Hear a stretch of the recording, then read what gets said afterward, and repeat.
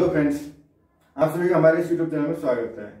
Friends अगर आप किसी भी यूनिवर्सिटी के लिए एमएससी इंट्रेंस पेपर की तैयारी कर रहे हो तो उसमें किस तरह के क्वेश्चन पूछे जाते हैं? और एमएससी और बीएससी में किस तरह के क्वेश्चन आते हैं? डिफरेंशियल इक्वेशन के हम पढ़ रहे थे, और ये हम एग्ज़ाम्पल नंबर ट्वेंटी सेवन में पहुँचे और ये है हमारे पास solve the differential equation D square Y upon D X square plus A square Y equal to sec X ये एक डिफरेंशियल इक्वेशन है, इसको हमें सोल्व करना है। तो इसको सोल्व करने के लिए सबसे पहले क्या करेंगे? हमें इसका सीएफ निकालना होगा। सी एफ़ निकालने के लिए एक्सिलरी इक्वेशन बनानी होगी।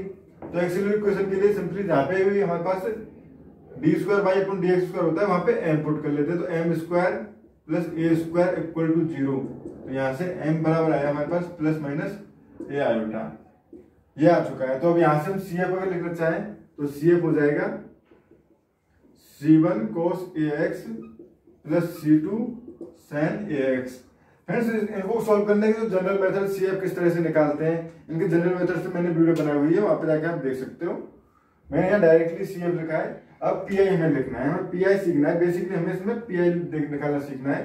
तो पी आई निकालने के लिए one upon F D Q X तो one upon F D Q X Q X जो आर एच साइड में हो तो यहाँ से हमारे पास हो जाएगा one upon D square plus A square of sec X ये हो गया तो इसको लिख सकते हैं one upon D plus A iota and D minus A iota sec A X ये हो गया। तो इसको हम लिख सकते हैं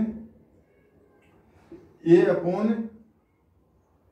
D minus A iota plus B upon D plus A iota जहाँ पे ए और बी फ्रेंड्स कुछ कांस्टेंट है, उनको हम निकालेंगे अभी।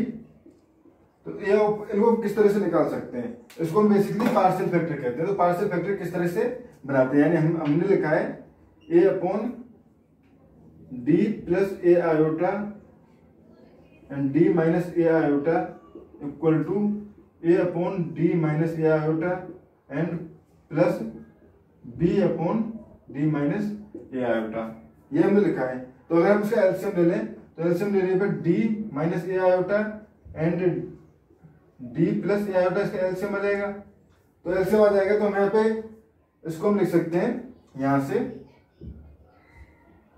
डी माइनस ए ये कर जाएगा A D plus A D iota sorry A A iota plus इसी तरह से यहाँ से इससे कट जाएगा, ये हो जाएगा B D plus sorry B D plus और ये हो जाएगा बी ए आयोटा तो ये हो गया हमारे पास। यहाँ से हमने मल्टीप्लाई किया तो हमारे पास और डी प्लस ए आयोटा था ये? बी के नीचे डी प्लस ए आयोटा है तो यहाँ पे माइनस साइन आएगा। ये हो गया हमारे पास। अब फ्रेंड्स अगर हम कंपेयर करें तो कंपेयर क्या कर सकते हैं हम? डी के जो कोफिशिएंट है वो एंड जो कांस्टेंट कोफिशिएंट है वो, सब कुछ हम कंपेयर कर सकते हैं।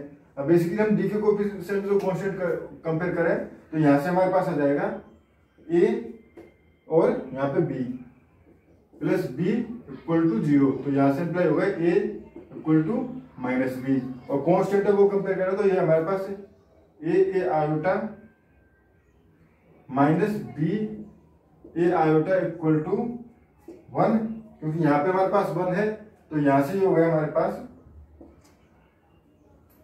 यहाँ पे अगर हम वैल्यू पुट करें, ए की ए की या बी की कुछ वैल्यू पुट कर सकते हैं। अगर ए की जगह माइनस बी पुट करें तो ये जाएगा minus B A iota minus B A iota equal to one तो ये हो गया हमारे पास minus two B A iota तो यहाँ से बी बराबर हो गया minus one upon two A iota और ए बराबर क्या है? इसका नेगेटिव पार्ट तो ये हो जाएगा one upon two A iota तो यहाँ से ए और बी की वैल्यू हमारे पास निकाल चुके हैं हम।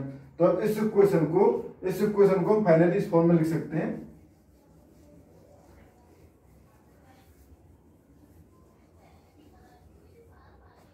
इसको लिख सकते हैं one upon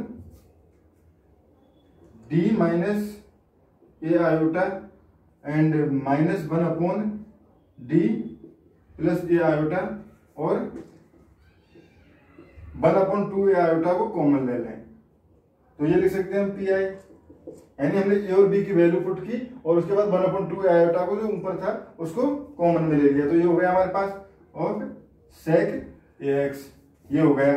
अब इसको हम लिख सकते हैं one upon two A iota को बाहर, ये हो जाएगा हमारे पास। One upon D minus A iota sec A X minus one upon D plus A iota sec A X. ये हो गया friends.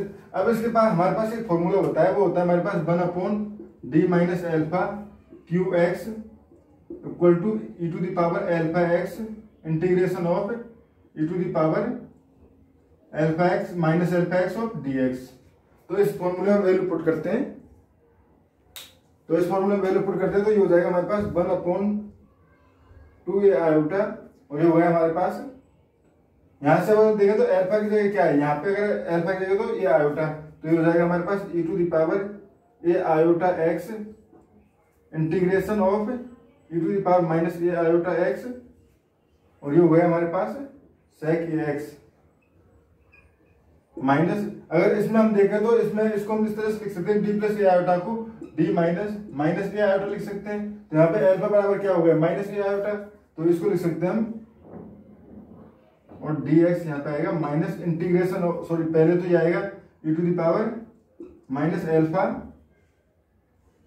iota x integration of और यहाँ से हो जाएगा e to the power alpha iota x sec x d x ये हो गया हमारे पास।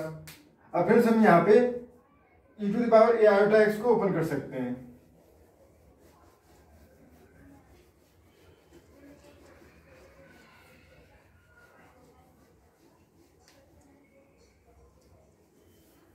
अगर हम इसको ओपन करना चाहें तो इसको हम इस तरह से ओपन कर सकते हैं।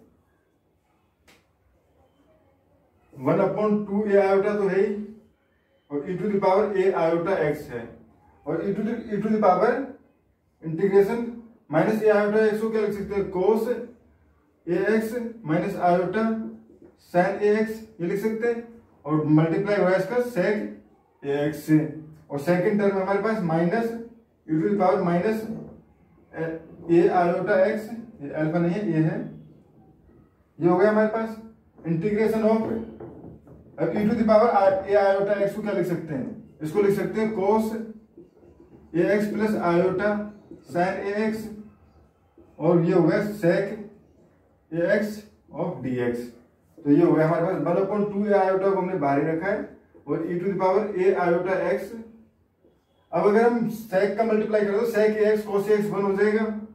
Integration one minus iota sine a x dot cos x में मल्टीप्लाई करें तो इसको लिख सकते हैं अपन कोस एक्स तो sine a x upon cos x हो जाएगा tan a x tan a x और साथ में आयोटा ये हो गया डी एक्स माइनस इसकी बात करें तो ये हो जाएगा हमारे पास integration of sorry e to the power minus a iota x integration of one plus similarly इसकी तरह आयोटा टेन ए एक्स अब फ्रेंड्स ये हो गया हमारे पास। तो यहाँ से अब अब डायरेक्टली हम इसको इंटीग्रेट कर देते हैं। तो इसको इंटीग्रेट करने के लिए हम one upon two a iota e to e to a iota x और ये हो जाएगा हमारे पास x plus sorry x minus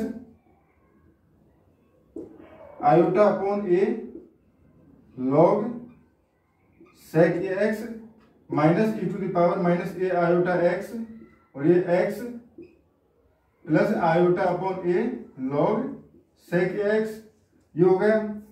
तो यहाँ से अगर हम चाहें तो अब one upon two a iota तो ये है ही बाहर। एक्स के कोफिशिएंट को हम एक साथ लिख सकते हैं। तो एक्स कॉमन लेंगे तो एक्स कॉमन लेने पे आएगा e to the power a iota x और यहाँ से आएगा minus e to the power minus a iota x ये हो गया। और